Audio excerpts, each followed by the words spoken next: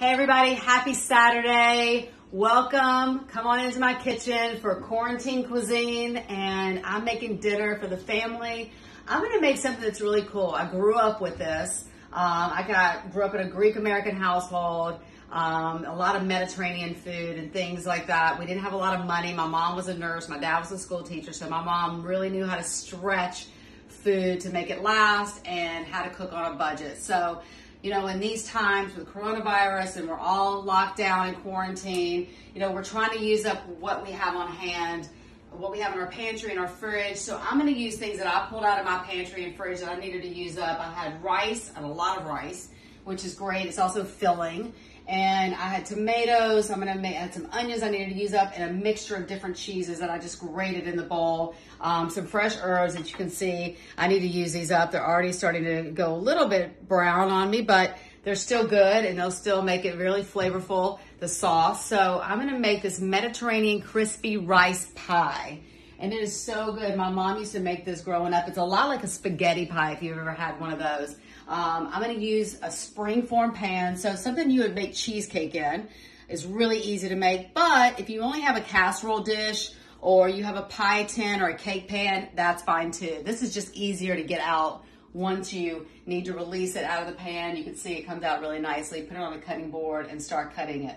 So the first thing I did was I made some rice. So it's really the one, two, three method. So one cup of rice, two cups of water, let it boil for three minutes and then turn it down to a simmer for about 15 to 20 minutes until it's nice and done. And then what I do is I just oil my pan really well. I put all the rice in and I pat it down and just really make it into kind of a pie shape and really get it formed and pressed down and compressed. I add egg in it to into it first. So three eggs go into it and some Parmesan cheese to get it really flavorful. A little bit of salt goes in and then you just press it into the pan. So once that's done, I bake it for about on 350 for about 15 to 20 minutes to get the crust really crispy and set up. All right, now this is done. I'm letting it cool. And while I'm letting it cool, I'm gonna make a tomato, quick tomato sauce. Now you may have jarred marinara, a tomato sauce already in a can or a jar. That's fine to use it. I'm just trying to use up some crushed tomatoes and onion that I had. So first I'm gonna put in a little olive oil in the pan, just a little touch there, a couple tablespoons in there, and then start my onions. So get those really aromatic. And if you have some garlic, throw the garlic in as well. I like, I say the more, the merrier. The more flavor you can add in and build up, the better. So I'll put this on about medium high. Oh my, that already smells good. Yeah, you can just smell it as soon as it hits. And you want to start with a hot, you know, your, get your pot hot. So you start it on high and then turn it down to about medium. Get the oil hot and then add in your onions. And you're just trying to sweat the onions, meaning you're not going to brown them. You're just going to make them a little translucent or transparent. You can see through them a little bit. Nice and clear and glazy. So you're trying to try to get some of that flavor out of the onion that's going to melt into your sauce. And then what I did was, if I had crushed tomatoes, if you want a chunkier tomato sauce, you can make that. You can just leave that, or I pureed these a little bit. I just put them in a blender and made them puree more, so it's a little smoother sauce. But either way, it's going to have the same amount of flavor. It's just all good. You know, it's really about feeding your family right now. We're all on a budget. We're all out of work.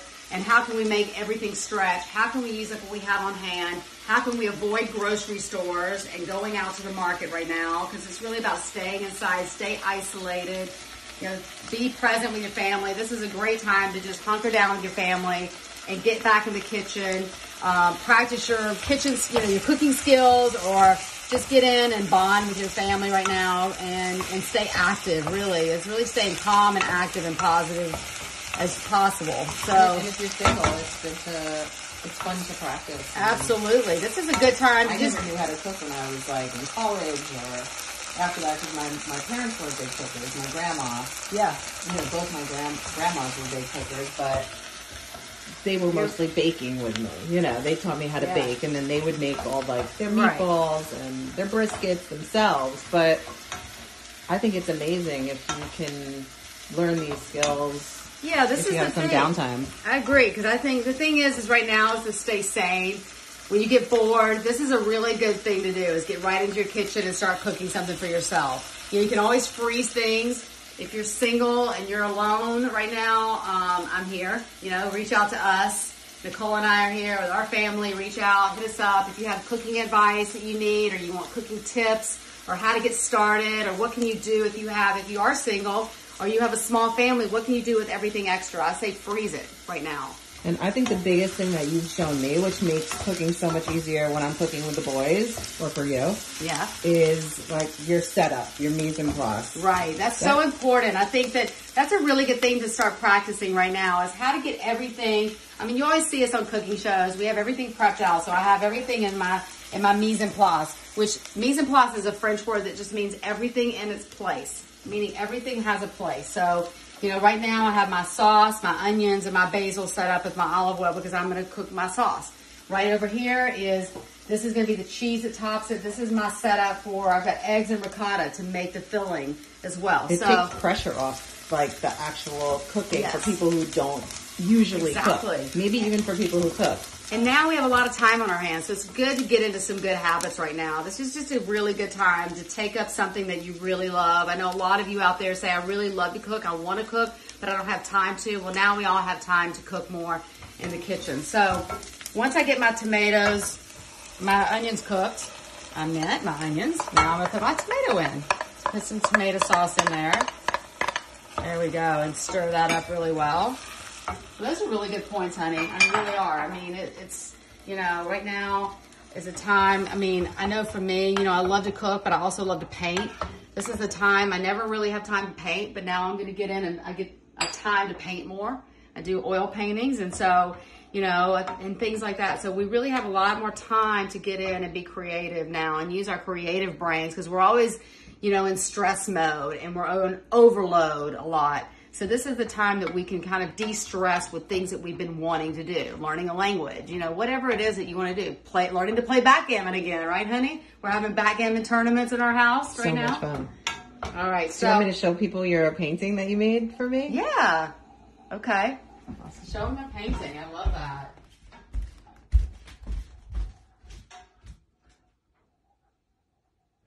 A Cat Cora original. I can't believe you did this. Oh, It's unbelievable. Well, I had a lot. Of, you're my muse, so I had a lot of inspiration. All right, so now that I've got the sauce done, you can also simmer that for a while. If you want to simmer it for 15, 20 minutes, I'm kind of fast tracking a little bit just because uh, I'm here with you live. Well, I'm live to tape, but And the kids don't care. and the kids don't care; they're just hungry. So, right now, what I'm going to do is now I'm going to actually take my ricotta and eggs. Now that I have my sauce ready, it's just sitting there. It's going to simmer a little bit. I'm going to take my ricotta and I'm going to add. This is ricotta cheese. You can also use things like um, what else could you use that you have? My my grandma used cottage cheese in our in our noodle kugel. I mean, it, we made it on the sweeter side than a savory side, but, But I don't know if it would work in rice. It but- would because the thing is, my mom, my grandmother made lasagna. When she made her lasagna, her cheese instead of ricotta, she used cottage cheese. Really? So this is something you could absolutely use. You could use cottage cheese if you have that on hand as well. So I'm going to add in one egg, one whole egg actually. And again, if you don't have eggs are scarce right now, I get it. And that's one of the reasons why I'm using um, rice. Is I love rice and I love this pie because my mom used to make it. But also pasta isn't is very scarce right now. It's hard to get pasta and spaghetti. It's also hard to get fresh eggs. So if you have the carton eggs like egg white or you have um, egg beaters or you know the yellow eggs, then just use that as well. You know, And you can measure freeze it. those, the ones in the box, right? You can freeze them. You can freeze milk. You can freeze eggs. It's pretty amazing. So now that I have this ready to go, all right, I'm going to put my ricotta down.